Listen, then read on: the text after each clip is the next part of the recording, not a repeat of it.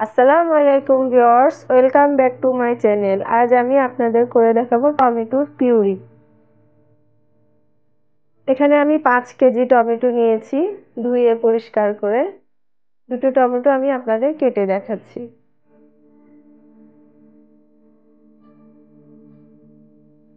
মুখাটা ফেলে এভাবে কেটে নিব। দেখতে পাচ্ছেন, এভাবে কেটে নিচ্ছি। মুখাটা ফেলে এভাবে করে কেটে নিব। আরেকটা কেটে দেখাচ্ছি।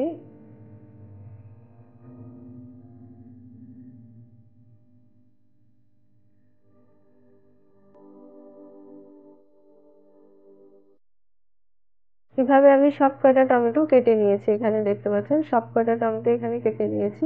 চলে এলাম কিচেনে চুলায় দিলাম এগুলো। দেড় চা চামচ লবণ দিলাম।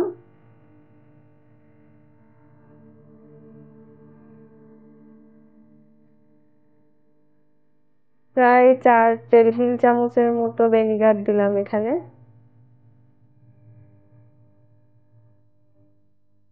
ঢেকে দিলাম পাঁচ মিনিটের জন্য।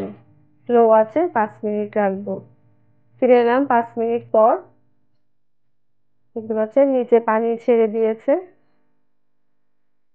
এখন আমি একটু নেড়ে চেড়ে আঁচটা একটু বাড়িয়ে দিব এবং বিশ থেকে পঁচিশ মিনিট সিদ্ধ করব মিডিয়াম আছে ঢেকে দিলাম। ফিরে এলাম বিশ মিনিট পর।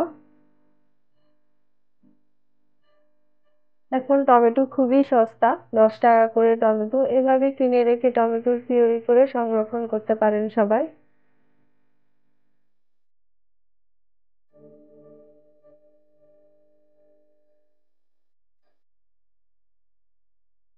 ঢেকে দিয়েছিলাম আমি পাঁচ মিনিটের জন্য। আবার ফিরে এলাম পাঁচ মিনিট পর।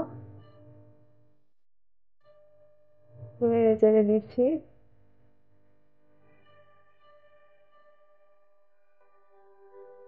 এখন আমি নামিয়ে নিব, ঠান্ডা করে ব্লেন্ড করে নিব। ঠান্ডা করে ব্লেন্ড করে ছেঁকে নিয়েছি। দুইবার ছাকার পর এটুকুন পেয়েছি, দেখতে পাচ্ছেন।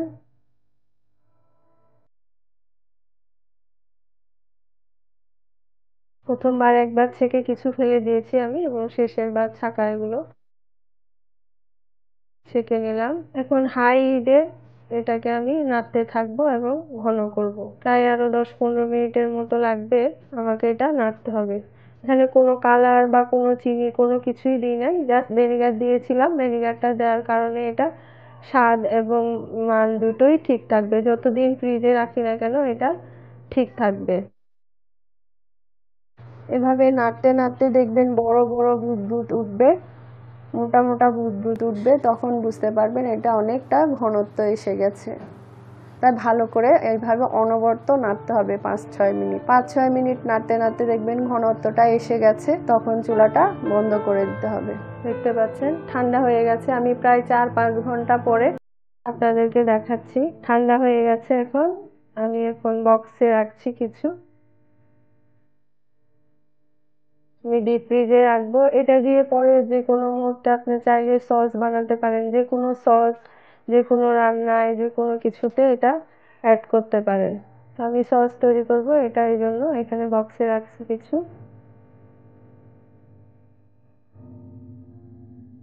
আর এগুলো আমি ফ্রিজে রেখেছিলাম একটু। দেখতে পাচ্ছেন? এটা এভাবে যদি ডিপে রেখে দিই, যখন রান্না করছেন, কোনো রান্না করার সময় টমেটো না থাকলে তখন আপনারা এটা একটা করে কিউব দিয়ে দিলেন বা বেশি যদি হয় তরকারি, তখন আপনি দুটো দিয়ে দিলেন মাছ বা মাছের তরকারি। যে কোনো তরকারি আমরা যখন দো পেঁয়াজা করি বা কিছু করি, টমেটো প্রয়োজন হয়। কিছুদিন পরে দেখবেন টমেটো অনেক দাম বেড়ে যাবে, তখন এই টমেটো পিউরিগুলো ইউজ করতে পারবেন। সংরক্ষণ করে রাখলে এভাবে ইউজ করা যায় এটা। যে কোনো তরকারিতে এটা একটা দুটো ছেড়ে দিলে দেখবেন টমেটো সুন্দর স্বাদটা পাবেন। ফ্রেশ থাকবে একেবারে। এটা আমি ডিপ ফ্রিজে রেখে দিব এভাবে বক্সে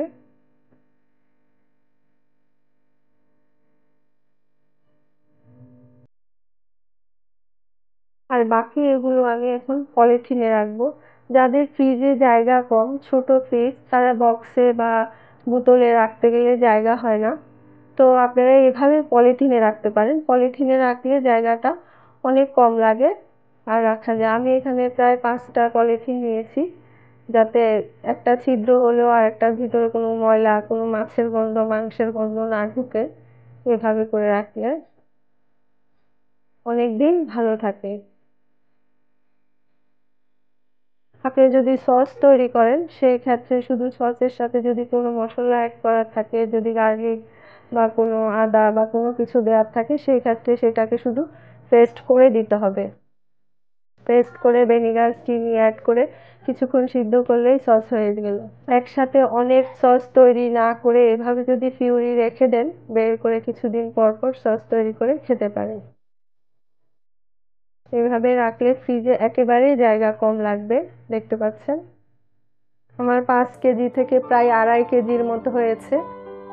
তো আমি এভাবে সংরক্ষণ করলাম। আপনারা বোতলেও রাখতে পারেন। শুকনো বোতল, পানির বোতল খুব সহজ এবং সিম্পল এভাবে সংরক্ষণ করে সারা বছর টমেটো আপনারা ইউজ করতে পারেন। আমার ভিডিওটা যদি ভালো লাগে লাইক কমেন্ট শেয়ার করবেন, আমার চ্যানেলটি সাবস্ক্রাইব করবেন, আমার পাশে থাকবেন। অনুরোধ রইল সবার কাছে। এতক্ষণ আমার ভিডিওটা দেখার জন্য আপনাদেরকে অনেক অনেক ধন্যবাদ। আবার অন্য কোনো রেসিপি নিয়ে আপনাদের সামনে হাজির হব। এখন আমি বিদায় নিচ্ছি। সবাই ভালো থাকবেন। আল্লাহ হাফেজ।